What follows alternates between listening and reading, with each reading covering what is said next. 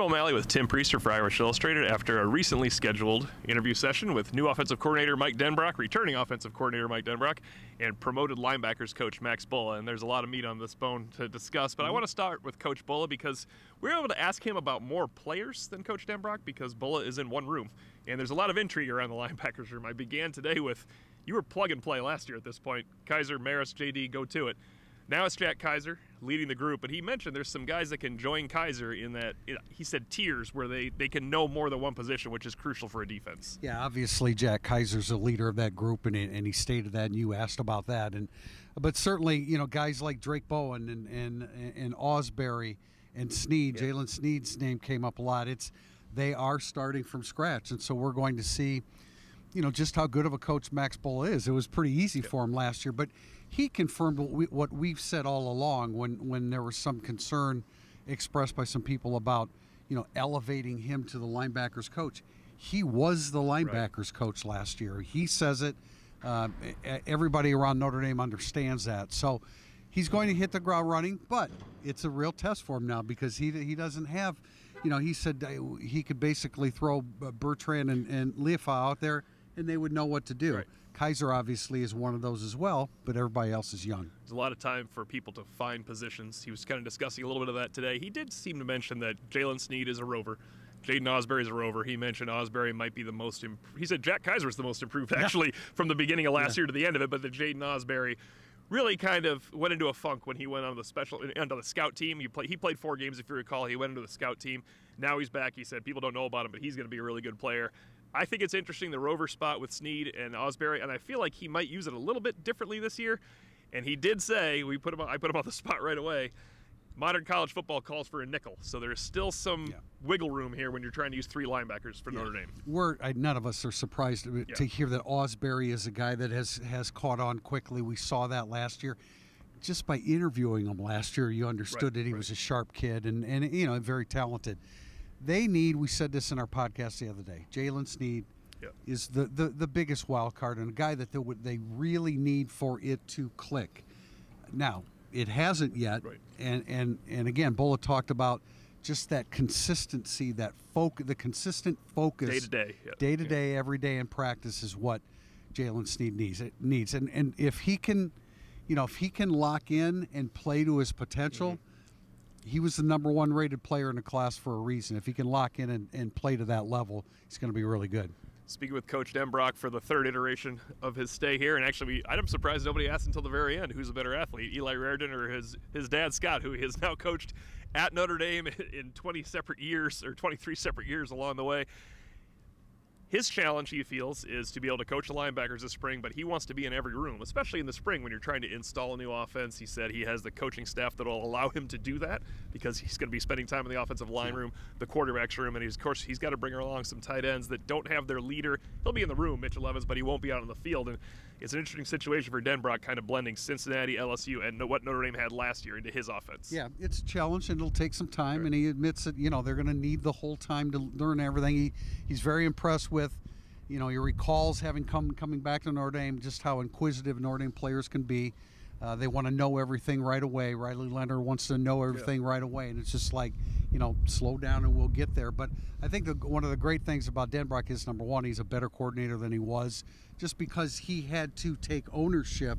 That was one of the reasons why he could have stayed at Notre Dame, but not been the play right. caller. He wanted, he had more to do and more to learn, and so, um, you know, he became a bear coordinator because he was in a position where he could take ownership of the offense.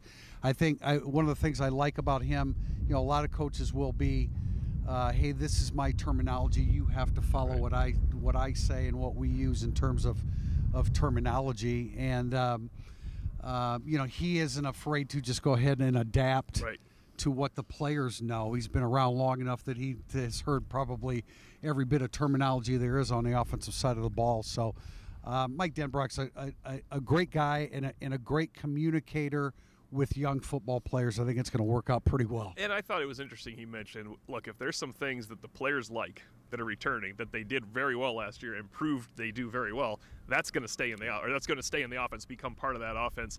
I wondered when uh, one of my first questions I didn't even need to ask it is because Cincinnati he featured two tight two tight ends a lot. LSU, well, there's a galaxy of wide receivers at LSU every year, so you're going to feature three wide receivers, of Right. course. We asked him, you know, what no trade secrets here, but what what are you what are you installing? And as he pointed out, he feels that the one thing he has changed is he no longer feels that while the running game is the most important thing at Notre Dame on offensively, he doesn't feel that bang the head need to run the football. And he mentioned something that I want to go deeper into with him at some point. If the numbers don't make sense, you're passing when it's a called run. I think that's the biggest change in college football in the last 20 years. It is a numbers game for almost every offense. I- It's the biggest change in him since he was a coordinator and a play caller here. I, I would say one of the things that you know, in watching his film at LSU, and let's face it, he had some components there that were that were awfully good. He had a Heisman Trophy winner, and so you can you, you can press just about any button and it's going to work. But one of the things that I noticed in studying their film is just the variety and the adaptability to the situation. And you have to be prepared for he goes from one thing to the next to the next. I know that sounds you know pretty simplistic but i think that that's what he's become as an offensive coordinator. You have to prepare for a lot with mike denbrock and i love his open-mindedness in terms of yeah if if uh, you know uh, the offensive guards that got had a lot of experience like this play it works for them. They they execute it the best. He's going to be open-minded enough to listen to what they have to say and implement those things. He was asked to draw a comparison from Heisman Trophy winner Jayden Daniels to Riley Leonard, and he said, Well, I don't know Riley Leonard well enough, but competitiveness is the first thing that sticks out for Leonard. A lot of questions about Riley Leonard, and I thought it was interesting that Denbrock said, Yeah, you know what? I was able to watch the Duke game live. He, he said the Duke game was one of the most important things for him. He said he watches Notre Dame football whenever he can. He saw the Duke game live with Riley Leonard. Obviously, an incredible game to catch, and he just finds Leonard an intriguing athlete. And I think it's it's going to be interesting for us to watch all of spring, and it's going to be changed in the, in the summer. He's going he's going to understand some things about Riley Leonard. We won't see it all in the spring, and it's all going to change in August camp. Well, one of the things that you also like about Mike Denbrock as Notre Dame people, as Notre Dame graduates, is he loves this place. He wants to be here. You know, that was the first question I threw out was, you know, the, the, the typical proverbial question, why are you back for a third time? And it's it's because it's Notre Dame. It's uh, it, it closer to family. His wife's from Buffalo. Uh, he's from Michigan. You know, I mean, it, all of that works out well, but he thoroughly enjoys coaching the Notre Dame student athlete. He said, you know, it was brought up about a head coaching position. Of course, he would entertain that if, if that situation came up, but he says it's a young man's game, and he's very happy to be the offensive coordinator at Notre Dame. I want to end with this because we, we somehow Duke came up a lot. It came up in, Max Bullough's interview as well. He said uh, uh, his his wife's uh, excuse me his mom's father had passed away right before the Duke game, and Former Notre Dame form- football a player. former Notre Dame football player, and he, and he was able to coach that Duke game, but it was it was two days prior. And and Bullough said talking about the Duke game, he said it was lit out there. It was like a high school stadium. I didn't really know what that meant until you came and stood here with me and said, you know what, that guy is a football player and a football coach. That's what you're getting in Max Bullough. That was an enjoyable interview with him today. ton of uh, enthusiasm there. You know he's going to be a great inspiration to the players. I like these two hires. I, I you know, Max Bullough is a rising star in the business as a linebackers coach. He was going to go to Boston College for Bill O'Brien, and and Marcus Freeman made the move that he thought was in the best interest of the entire staff. I think Max Bullough is going to work out just fine for Notre Dame. two long interviews with two new coaches. That's us. That's it for us verbally, right? But we'll be back with a lot of the written word uh, at irishillustrated.com.